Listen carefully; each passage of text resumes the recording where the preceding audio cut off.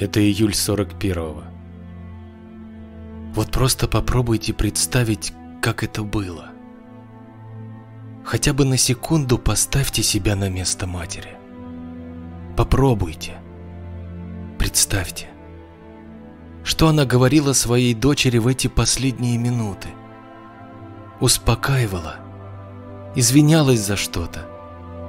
Обещала, что сейчас это все закончится, а дядя шутит – Говорила, что любит и будет любить всегда.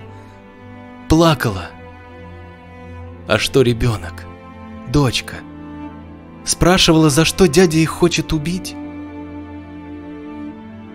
За каждой фотографией, за каждым кадром всегда реальные люди. Их жизнь и смерть. Но здесь больше. Здесь боль страны. Здесь правда о нашей войне. Правда о том, как нам далась победа. Здесь полное понимание того, с какой мразью, каким адом мы воевали. В буквальном смысле. Потому что 22 июня 1941 года на нашу землю пришли не люди. Порождение абсолютного зла – в этом кадре ответ на вопрос, на чьей стороне была правда в той войне. Один кадр сразу опровергает всю ложь, которую мы слышали о нашей войне последние годы. В этом одном фото все нужные смыслы. Почему мы против доски Маннергейму?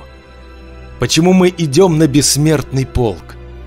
Почему День Победы со слезами на глазах даже у правнуков ветеранов, кто и рассказов-то о войне от них не слышал, не успел, а только держит в руках прадедовские медали. Почему мы гордимся знаменем над Рейхстагом? И почему день 9 мая для нас так важен? Почему это все еще болит и кровоточит? Мы не знаем, как их звали. Мать и дочь. Не знаем, где они похоронены. Да и похоронены ли. Но мы их помним. Должны помнить. А если забудем, значит все было зря. Значит мы все же проиграли войну. И предали Родину. И незачем нам тогда вообще быть.